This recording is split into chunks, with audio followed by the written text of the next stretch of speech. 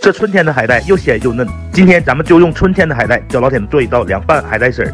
这个就是咱们家春天捕捞上来的鲜店源海带，里面的盐呢一点都不多，只是为了保鲜。这个海带提前用清水给它泡二十分钟啊，把盐分给它泡淡。泡淡之后，把海带给它切成细丝儿，再准备一根大葱，然后咱们给它切成细丝儿，再切成一些香菜段。这个海带丝儿是海产品，所以咱们给它焯下水，吃的更放心。开水下锅，给它焯水三分钟，然后把海带丝捞出去，迅速的用凉水给它投凉。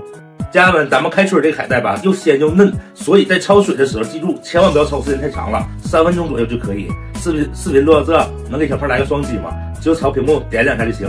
小胖祝大家身体健康，万事如意。把海带丝控干水分，加上九十九粒芝麻，再放一些蒜末，多放一些干辣椒节，半勺热油给它炸出香味儿。味极鲜酱油加半勺，再加多半勺的陈醋，少许的白糖，再加一点精盐，再加少许的香油，然后给它拌匀。我靠，忘放配料了！凉拌海带丝儿，放葱丝、香菜段，那是真香啊！就这小海带丝儿，配上两瓶小啤酒，高低能把皮鞋给你喝丢喽。